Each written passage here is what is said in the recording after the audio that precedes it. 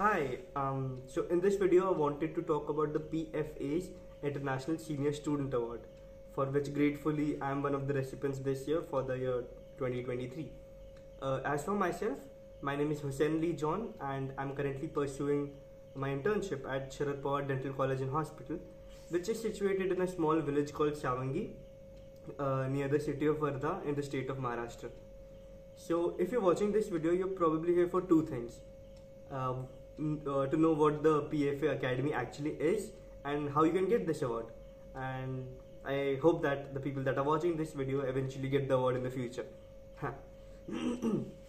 so uh, the PFA or the Pierre Fauchard Academy, named after, of course, the father of dentistry, as we know, uh, PF Aushad, right?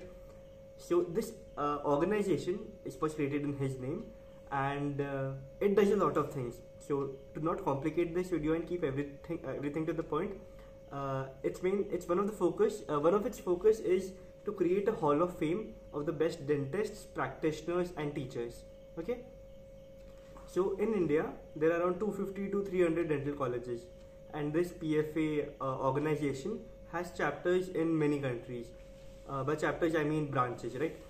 So the PFA India chapter uh, sends a mail, uh, sends an email giving a notification to all these two, uh, 250 to 300 dental colleges. They mail it to the dean.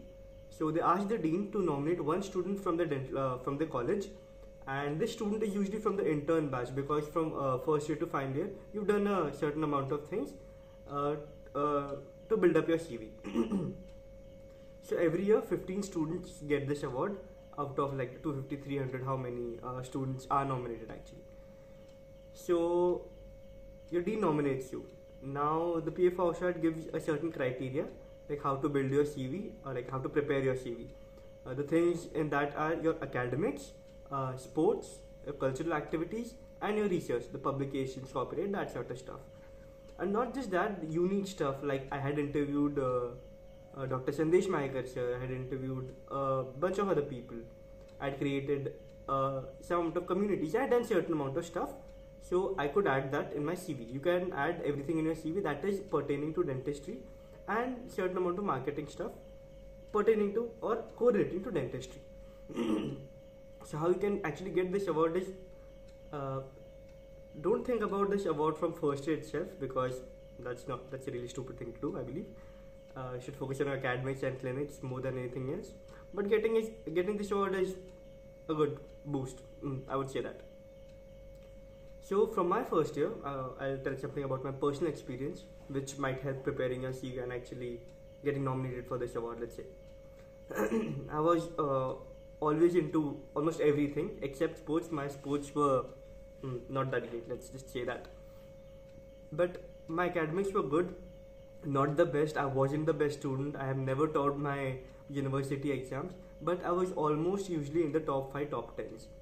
That was not my aim but i got that. Uh, cultural activities. Now all these small events the poster making competitions the slogan making competitions almost every thing video making competitions. Those sort of things that i could complete in like half an hour one hour. I was good at uh, prep i had a history i have a history of uh, preparing uh, good images. Like i'm into graphic design personally. So i could prepare that in half a, half an hour or one hour. So I just prepared that and I would send that for the competitions and at least I could get a participation certificate if not the first or second prize. I have gotten that too but I used to participate in a lot of things and I was very active in these dental conferences that used to happen. Almost every year I have participated in like one or two dental conferences because I used to get to roam that city and meet new people. I love meeting new people. That's my G. that's my shit. Um, so that's how my CV was prepared eventually. And publications. Now, my college really pushes you to publish stuff. And uh, I'm proud to say that I'm the most published uh, student in my college. So I have around seven publications right now. Two are in still in process. Hopefully, they will get published soon. And in internship, I got into copyright. So now I have three copyrights. Two are still pending. This is not to boast and everything, but this you can also do this doing all this stuff seems complicated but it's damn easy when you get the once you get the hang of it okay So getting the nomination letter is the first part from the dean. Uh, so you have to be not popular in college, but the staff needs to know that you have potential to do something and represent the college at that stage. So once over the course of the year, uh, over the course of the four years, you have made a name for yourself in these sort of uh, four categories. Then let's assume that you are nominated. Now, once the dean receives the notification from the PFA Academy, so in my case, it was around four to five months ago. What happened in my college was uh, they prepared. It was uh, a thing like anyone could give their nomination, and eventually uh, Dean Sir was selected. Uh, so four people gave their names, and eventually they gave their CV. So uh, between those uh, four people, I was selected because uh, probably I had more credentials than them. Uh, not that I'm a better student than them, but I had probably done more stuff than they actually did. That's what I think is was the case. Um, so after that, I had to prepare three things. Uh, basically, the PFA Academy asks for these three things in PDF format. Number one is your uh, demographic details, which is titled as biodata.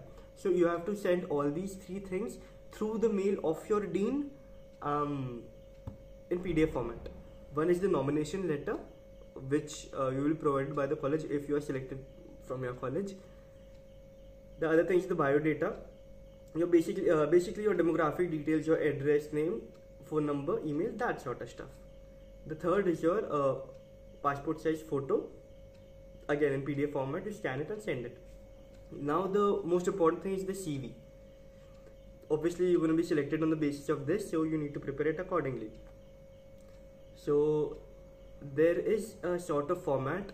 Uh, thankfully, uh, my seniors also have gotten this award for. Uh, uh, in my college, we are getting this award for the past two three years. So I had a lot of guidance in preparing my CV. So I had a lot of help. Thank you, seniors. So when I was preparing the CV, uh, my academics were not that great. They were okay. So I put that first. Then sports. Sports were like, okay, I haven't done much. Okay, so let's put whatever we have. We have a few certificates in this. We have a certificate in uh, running a few marathons. So I put that. Then came the cultural stuff. Like I said, I was very much active in everything that uh, the college uh, threw at us. Every competition I participated in it because probably I wanted to prove myself when I got into this college that maybe my NEET score isn't that great and चलो कोशिश करके देखते हैं कि let's participate in everything. I haven't done maybe I haven't sang but eventually I did participate in a few competitions. So eventually uh, my certificates kept building up. Uh, I did blood donation and I had a knack for organ donation as well. So I uh, started an organ donation thing at my college, and 25 students were registered as organ donors. I personally do have an organ donor card, which is registered by the Indian government, but we're tracking right now. Okay, so that was the cultural stuff, the poster making, which we have discussed, everything. Conferences, yep, and research. Research, uh, I'm re- really grateful for my college for every research that I could complete. Original researches, reviews, case reports, everything of that sort. Now comes the stuff that is gonna like separate you from the crowd. The extra stuff that you do over the years that piques your interest. You know, I really wanted to talk about this. I'm sorry if this video is a bit longer, but I really like talking about other stuff too. And you need to put everything in your CV, right? If you're an IDA member, if you're an IADS member, or you're a member of any organization, that every minute thing you've done in college, write that. Because the I don't think the bigger the CV counts, but the richer the CV counts. That's what I would say. Okay, copyrights like in the internship when I started uh, doing copyrights, no one was doing copyrights because probably I wanted to stand out in my college. Of course, you get appreciation from your juniors, but there's something for there's something that you do for yourself, right? and I did that, and it took it took six to seven months for those copyrights to eventually get registered. You know how the stuff is with the uh, Indian websites; it takes a lot of time. And uh, sorry, my battery was a bit low. So the thing was, in, in the initial stages i didn't know how all this worked. And i had to take help from people. I had to learn something from my own watch videos. But everything did work out. And eventually when i eventually got the email that i had gotten this award it wasn't something like oh my god i've gotten this award i was like it's good. I've gotten this award. Because this award does mean a lot of course. Nothing to take away from this award or the academy. There are a lot of many things to do in life as well. So just don't focus on this award. It's great if you get it. It's also great if you don't. But keep doing it. Keep um, doing the stuff that you want to. Academics sports cultural whatever. Never compromise on academics. That's what i say so i got this email. Uh, so when i sent the email from the dean's email id uh, one or two months later i got the email ki uh, you have gotten this award and you're invited to this university in uh, a certain month of this year which i am invited in december in a certain university and you'll be presented with your award there. Now the thing that I, thing that I get to know is like all these 15 students that are nominated not nominated they have gotten the award the Pierre Fauchard International Senior Student Award they're going to get the award. But in between these uh, 15 students one is going to get a grand jury award. Let's see how that works out but i'm just happy to have gotten this award. And that's basically it. That's what you have to do to get this award.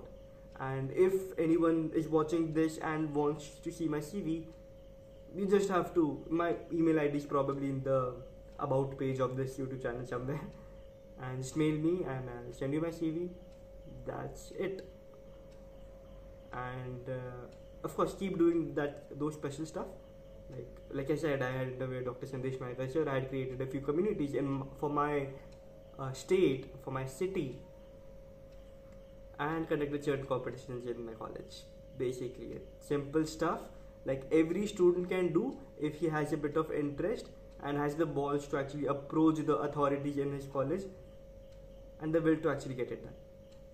That's basically it. You can do it. सब कर सकते हैं बस चाह चाहिए That's I think a good note to end it on. I'll end it right there. So best of luck for everything and yep that's the video